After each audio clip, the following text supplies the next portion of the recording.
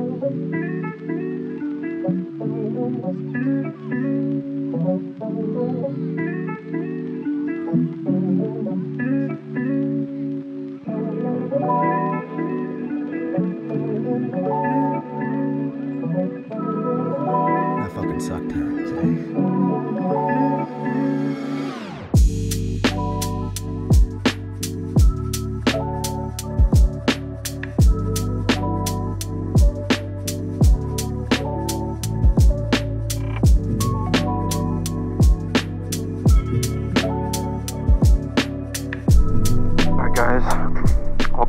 cockpit. Hope you guys had a good Christmas. It is New Year's Eve Eve right now, so you guys are probably watching this right about New Year's, so happy New Year's as well. Go ahead get our weather real quick. Somerville Airport. Automated weather observation 1435 Zulu. Wind 240 at 7 knots. Wind variable between 200 and 280. Visibility more than 10. Sky condition clear below 1 2000. Temperature 7 Celsius. Dew point 1 Celsius. Altimeter 3006 inches of mercury. Somerville traffic, Bonanza 226, Romeo Pop, final 24, Somerville traffic.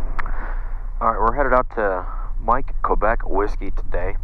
Um, no reason, we're just flying that direction. They have decent fuel, and I've not been to that airport. It's in Georgia, so we're heading that way. Flight control stabilizer trim. That will do the rest of the runway. Correct frequency and our approach frequencies in there. So let's get rolling. Oh, parking brakes on. There we go. We know it's working. Tap the brakes. There we go. Somerville traffic, Mooney 811 at the rear hangars, taxiing 24 Somerville. So, um, yeah, guys, Happy New Year. Um, this will for sure be my last flight of the year. I've got New Year's Eve plans and not flying tomorrow, and won't be flying on New Year's Day. So, uh, yeah, this will be it for the year. I think I should be at about 280 something, 284 after today, 285, something like that. I wanted to see if I could hit 300, but um, I didn't quite make it. The plane was down uh, for a few weeks for the autopilot install, and I think that had that not happened, I think I'd have hit 300. I think I could have done it. But whatever, 285 is pretty good. Again, I'm I'm flying out of pocket here, so I'm not really uh, not doing like the CFI thing where I'm, I'm building hours on other people's dimes. So 285 is good. And, uh, I'm happy with that. Benny, I'll uh, hold short before I pull in. Uh, where are you guys at? We're on uh, Alpha, Oh. just short of Bravo. Roger, we got you. Um, all right, we'll go ahead of you. Sounds good. Appreciate it. Yes, sir. Yeah, about 280, 285 hours this year. Um, definitely a good year of flying. Got my instrument ticket this year, my commercial uh, ticket this year, and uh, yeah, 280 hours of flying. Um, but here we are holding short of 2.4. We'll cut the vlog stuff and get back to the checklist, and then uh, we'll get in the air and head over. All right, laps one. Fixture to go, prop to go. I always leave the or props done. Cowl flaps are open. Power boost, electronic fuel pump to go. Beacon, nav light, landing seatbelts and doors checked. Windows checked. Toggle button. Retraction lever, we have clearance. Nothing's gonna come off the seat. Everything is good. Left seat takeoff. I'm piloting command. No one on the right seat. Uh, runway 24, no good options off of it, but it is daytime. We got good visibility, so we can find a better than uh, average crash site. Hopefully, if something goes wrong, anything goes wrong on the runway, I'll know about it because I'm gonna check my airspeed after my engine instruments. If I'm not at rotation speed, uh, way before the thousand foot markers, I should be. I should have airspeed and be rotating about five, seven hundred feet today. If I don't do that, I'm gonna stop on the runway and we'll uh, pull off and sort that out. Anything happens after we're in the air and I have no runway left, which is gonna be right away at, this airport, uh, we're gonna take it ahead and we're not gonna consider a turn back until thousand feet climbing 65. Uh, departure today is going to be more or less straight out. It'll be a slight right turn out. So we'll just go straight off the runway and then on course to Mike Quebec Whiskey. And that should be a decent briefing. Everything here is good. Okay, back to the checklist. I'm gonna expect the engine to die and take off. I'll be waiting for it. I'm gonna say there it is, push forward with no hesitation to find a place to land. I like that briefing. Everything's free and correct. You guys ready to go? Let's do it. Okay, fuel pump, landing light, mixture, flaps are good, everything's good. Somerville traffic, Mooney 79811 taking off runway 24, we straight out Somerville. Alright. Gorgeous day today, guys. Chilly and windy, that's why I'm flying today. I haven't had much crosswind practice lately, so um, I'll definitely get that today. It's going to be windy, gusty, all bumpy today, and that's why I'm flying alone. I didn't want to take any passengers with me and scare them. So I'm expecting a turbulent, bumpy, windy ride today, but that's that's what I want. All right, here's 2-4 confirmed. One final check. Always check, check, check. There we go. Wait for that engine to die. Let's roll it on. There we go. Alrighty, there's full power. I'm making full RPM. Everything's in the green. We're at rotation speed already. Off the ground at about 500 feet. Tap the brakes. Positive brake gears coming up. Gears up. Oh, already getting knocked around. Holy cow, like an elevator today. Alrighty. Somerville traffic, Mooney 811, departing off the upwind 24, uh, headed out to the west, Holy cow, yeah, definitely bumpy. I made the right call. Fuel pump, landing light, mixture's good for now. That's good, this can come open. Holy cow, you guys, I, I'm climbing like crazy today. Yeah, I'm 1,600 feet a minute, 17. This is the most climb rate I've ever seen. There we go. Just got into some smooth air. We're at 120 miles an hour, which is my cruise climb speed. Temperatures are all good.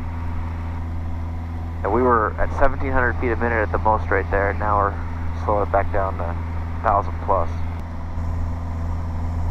Alrighty.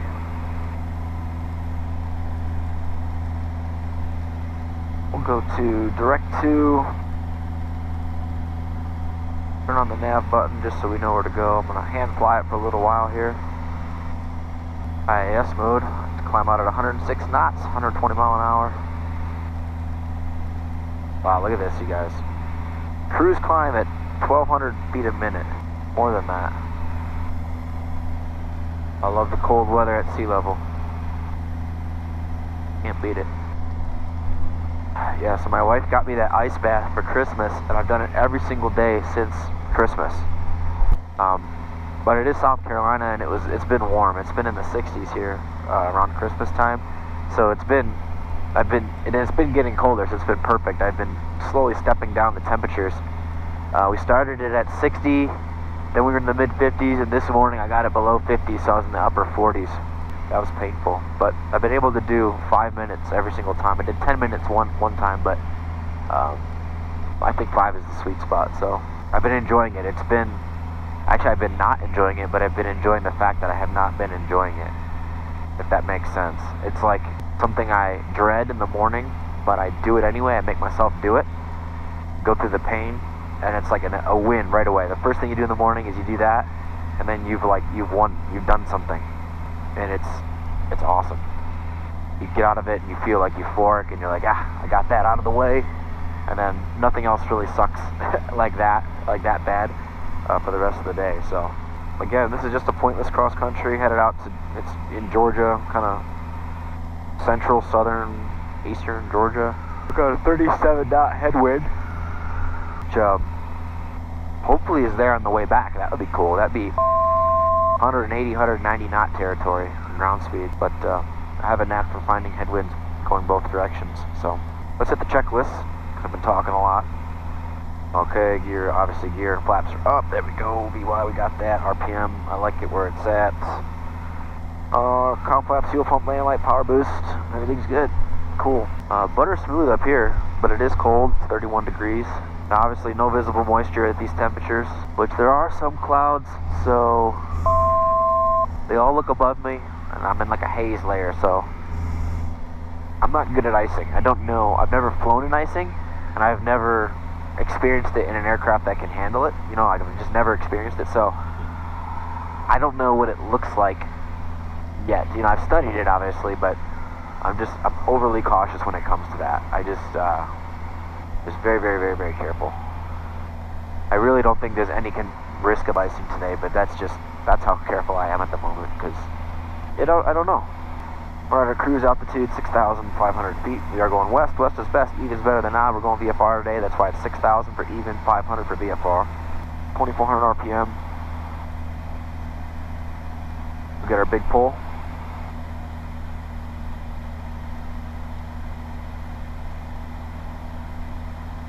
Right about 9 gallons an hour. Doing about 150 knots.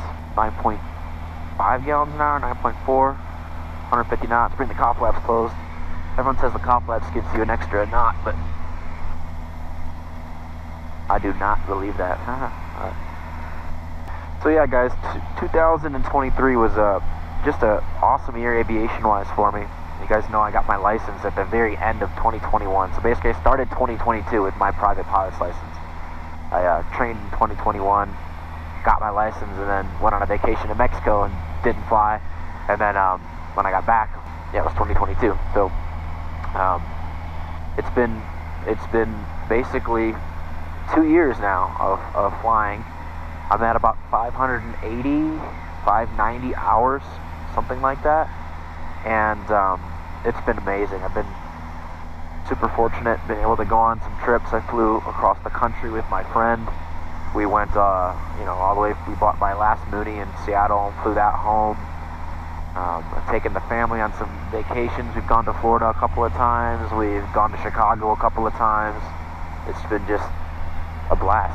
Super fortunate, super lucky. Been really enjoying this uh, this airplane. You know, I've got my commercial pilot's certificate now, and um, I'm just building hours, working on it, trying to get to a point where I can get a job. I know you guys will say, well, you can get a job at 580 or 600 hours, even 750, and I know that, but I need to, I need to get a, I need to be qualified for a job where I could, you know, afford to, afford to support my family, which of course, um, I don't need to make the same salary I'm making now, but just enough to support my family. So that's that's kind of what I'm waiting on. So this is my path, and that's that's what I'm, I'm working on. Maybe the most rewarding thing that, that I found recently is the angel flights. I know I've talked about it in the last few videos, but I have really, really enjoyed flying the angel flights, man. It has been just so rewarding. I got, uh, actually for Christmas, they sent the Burn Center in Augusta, Georgia, sent me a, a nice thank you card and a little gift. Uh, it was a, like an airplane bottle opener. Just really, really cool. And, um, they sent that to me because uh, I don't even know how they knew about me because I go through Angel Flight. I never talked to anyone at the burn center or anything like that, but they, uh, you know, I've, I've flown a, a, few burn victims at this point to and from their appointments out there, and somehow they, they, they knew it was me and they sent me a nice gift to my house, which uh, totally blew me away. Uh, it's it, just amazing, so fun, and uh, so rewarding. So that was kind of cool. So what's next for 2024? My 2024 goals, as of now, well, my goal, I only really have one. It's I, my multi-engine commercial, right? If I get that done in early to mid 2024, I'm happy. Uh, and all, all, of it is is financial, right? That's that, that's what I'm waiting on. I'm waiting on the funds. You know how that goes. But to get my multi-engine commercial done, I'll be happy. Oh, cool. I'm flying over uh, Walterboro right now. This is where I got my instrument and my commercial check rides done. I can see the thousand foot markers where I hit my power off 180. Nailed it. But yeah, multi-engine commercial. I really am considering my CFI. I would, I would, I, I, think I'd really enjoy that. If I could make it work, I will. If I can make it, uh, you know, if I can, if I can make it work, I will. That's all I'll say. There's a lot, lot I'm considering when I when I talk about that, but I think I would really enjoy that. And for another reason, there's people in my family that are interested in, in flying, and I think it'd be really cool to teach them how to fly, obviously for free. But that'd be that'd be cool because you know, they'd have access to an aircraft, my aircraft, and um, if I could teach teach people to fly and get some people in my family their their pilot certificates, that would be that'd be fun. So maybe another thing I'd like to do, and. Uh, if I could get if I get both of those done in 2024, then I've exceeded my goals. So I'll be happy. Man, the heat in this airplane that is on the squawk list for 2020 or for the annual coming up. My last plane would cook you. Uh, why am I not getting heat? I don't know. It, and it sucks both. It, it leaks in the summer, so it gets you hot in the summer, and then it's not hot enough in the winter. Yeah, it's 28 degrees, and I'm, I was already cold, obviously from the freaking ice bath, and now my heater's barely working. I might have to go lower into some warmer, warmer air. Charleston approach, Mooney 79 or 811 VFR flight following request. Stand by. Stand by. Flight 909, descend and maintain 5,000. In the Mooney calling, are you going to be continuing southwest bound? Affirmative 79 or 811. Contact Beaufort approach 125.12, then, then you can make the flight following request with them. Roger, thanks. See ya. 811. I thought he might do that. I should have just waited, but And Beaufort, good morning. Mooney 79 or 811 VFR flight following request. Ross calling Beaufort approach, say again. Yeah, Beaufort approach Mooney 79 or 811 flight following request. Mooney 79er 811, Beaufort approach, altimeter 3009er, say request. Alright, 09 on the altimeter and uh, request uh, VFR flight following to Mike, Quebec Whiskey. At 6,500 feet, we are six miles southwest of uh, Walterboro at 6,500. Maybe 79 or 811. Mooney 79er 811, Roger, ident, stand by for your squawk. Ident, stand by, 811. oh, freaking freezing up here. And I have a gigantic leak, I think, under here. So I feel like just cold air blowing in from the avionics bay. I can't tell if that's the avionics cooling duct blowing on me, or if it is just a, a leak from the avionics bay that I know is not sealed well. So I'm, I'm so cold. Mooney 811, your radar contact 6 miles uh, west of Walterboro Airport at 6,500, squawk 3250. Position check 3250 811. Alright, so we do have an ice AIRMET that just popped up. 1,000 to 7,000. Uh-oh. That's exactly where I'm at. I will be out of it, though, in a second, and I'm paying, paying attention. There's no, no visible moisture, so no need to freak out. Mooney 811, contact Jacksonville Center 132.902, good day. 3292 811. Good day. Jack Center, good morning. Mooney 79 or 811 6500. Number 79811 Jack Center, welcome. Savannah altimeter 3010. 3010 811. The rest of this flight is going to be pretty boring. Uh, it's just cross-country time building. There's not going to be much more. We'll be on flight following, so Jack, Speechjet 717 Tango Golf with you. Speechjet, cool. 240. Yeah, I'm gonna kill the cameras here, and I'll uh, I'll turn it back on if anything fun happens, and uh, if nothing else, we'll catch the landing into uh, Mike Quebec whiskey in Georgia. Um, be back with you guys in a little while.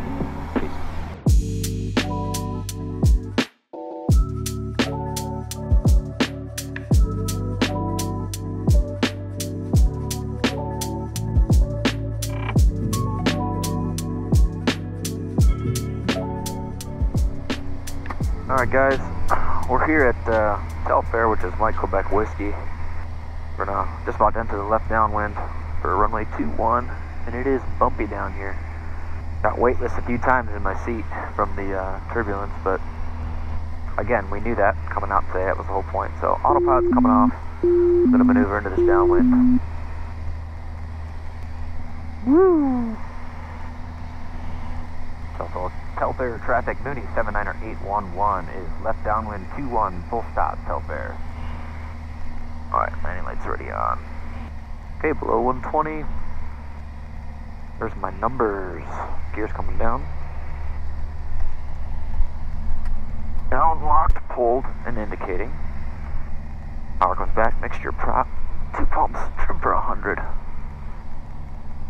Gas on the tank I want, undercarriage is down, I feel it, I see it. Mixture and prop. Set. Switch is set, seatbelts are on. First comes check, speed's good.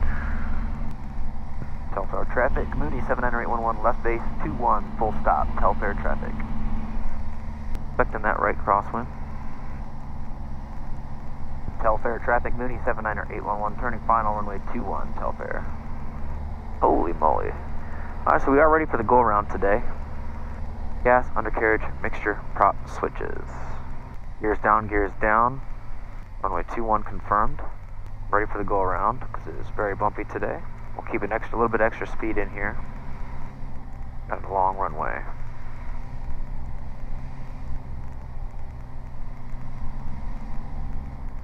Bird. Okay.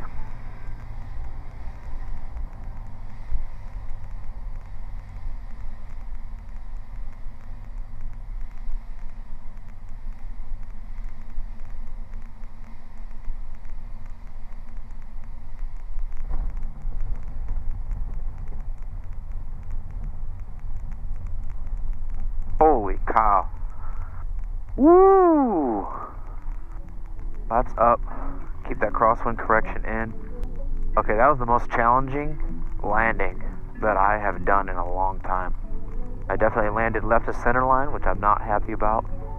Look at this crosswind. That's funny because it's also saying I landed with a tailwind, which is not what the winds were reporting on the ground. So maybe this is a gust coming through, but I 100% landed with a tailwind. A good tailwind, too. Wow, not even close. And Telfair traffic, Mooney 79811, clear 21, taxiing to fuel, Telfair traffic. There you go, guys. That was uh, very challenging landing. Like I said, crosswind, and I landed with a, a tailwind there.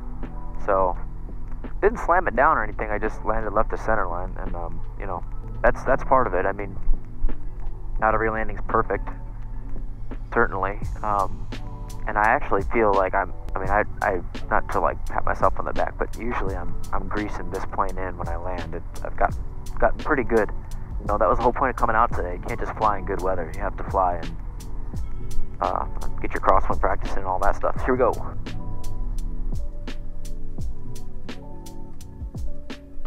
So there you go, guys. Hope you enjoyed this one. I'm gonna grab some fuel. I probably got a big line in my head here, and then I'm gonna take off from the. Oh no! Now the wind switched again.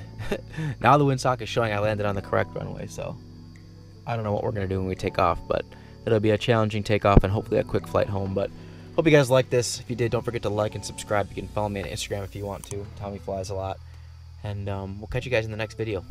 Peace.